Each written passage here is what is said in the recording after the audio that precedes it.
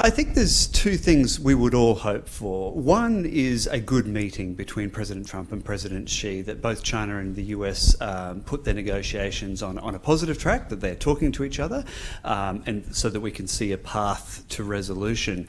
And I think the second thing we'll all be looking to see is a commitment from the G20 to supporting the multilateral rules based trading system. Because as, as important as the US and China are, there's a lot of other countries in the world. Um, and and those other countries, the interests of those other countries are supported by international rules. Well, look, China is the world's second largest economy. It is the world's biggest trading nation. So China is a world economic leader. That's simply a fact. Um, so I expect big things from China, um, and I think it's in a unique position to to really take the the, the, the multilateral rules based trading system forward at a time when it's coming under pressure.